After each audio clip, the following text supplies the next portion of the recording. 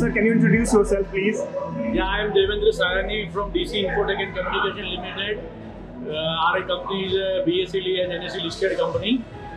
And we are into networking products, of computer networking products. Great. So you are part of the founding member. Yeah. So how proud you are? You have created something. I am absolutely proud because we have not thought for the that we will reach in such a great height.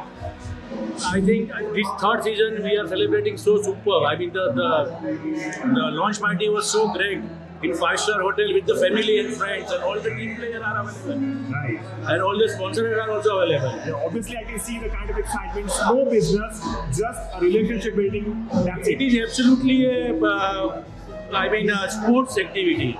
It is nothing related to the business or something else. It is a sports activity.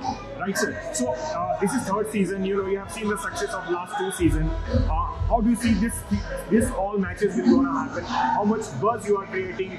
What all teams are expecting from this tournament? From from day, day by day, it's the third version. We have improved ourselves. We have given, I mean, the all founders are so enthusiastic. They are giving their codes. They are, uh, I mean, giving the maximum time to success this event. So everybody is given the time.